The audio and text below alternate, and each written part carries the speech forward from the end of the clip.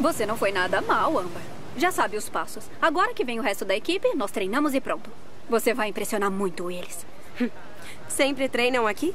Sim, é o prédio de treinamento da pista. E o último ensaio vai ser aí. Eu tô feliz por ter se unido aos Sliders. Ai, sim. Até que enfim. Até que enfim, eu tô em uma boa equipe de patinação, com patinadores de verdade, com talento, Emília. E não com aquela equipe de losers do Jammer Roller. Nós vamos acabar com eles na final. Vamos ver se assim eles aprendem o que é patinar de verdade. Não, isso você pode esquecer, eles nunca vão aprender.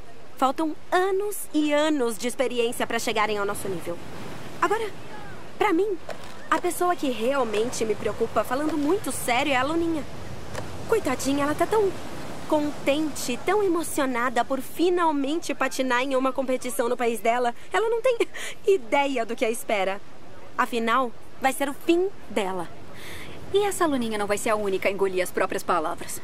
Por que diz isso? Uma tal de Jasmine não para de mandar mensagens o tempo todo. É uma garota que não se enxerga. O que essa sem noção disse agora? Olha. O Jimmy Roller vai ganhar. Somos os melhores do mundo. Por favor. tá muito enganada. Além do mais, nós não vamos ganhar. Vamos acabar com eles.